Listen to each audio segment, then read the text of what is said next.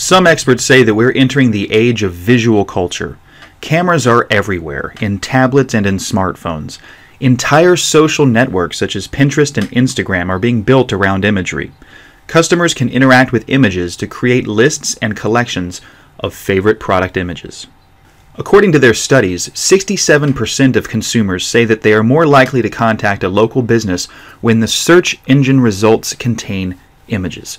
Additionally, articles that have images in them increase their views by 94%. No kidding. Now that you're convinced that images are a powerful way to drive sales, let's look at some different kinds of imagery and how they can be used in your marketing strategies. Infographics seem to be everywhere these days. The reason? They work. An infographic is a great way to organize and present complicated information in an understandable way. An infographic can be used to define a problem and dis- demonstrate how your product or service can solve it. There are several free tools and resources available for creating infographics. Here's a list of free infographics resources. The first is easel.ly or easily. This features customizable free templates that are easy to use to create infographics. The second one's called Visually. It can be used to create custom graphics. And there's also a large community of designers available for hire there. And lastly, Piktochart features a customizable editor that makes it easy to create infographics with just a few clicks. Charts and graphs are a great way to present live data in a visual format.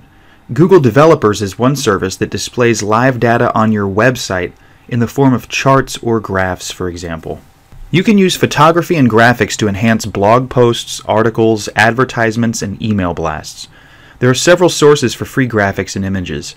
However, it's important to note that images are the property of their creators, and many images on the internet are protected by copyright. It's not a good idea to Google for random images and use them in advertising materials or blog posts because they might be copyrighted.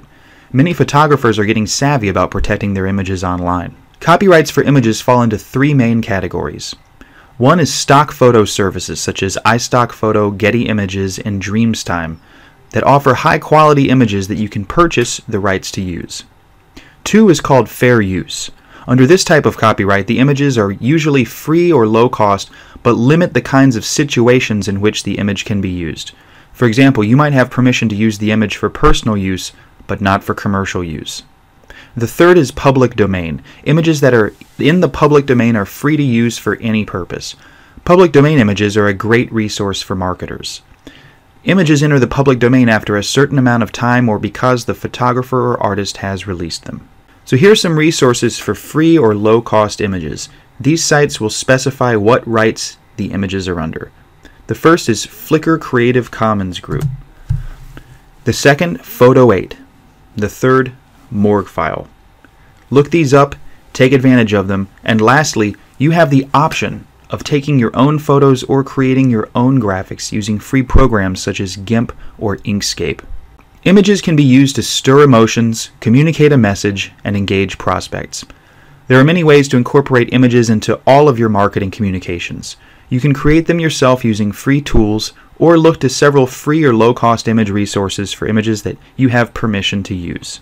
We post new internet marketing videos like this one weekly. Hit the subscribe button below to make sure you don't miss a single one.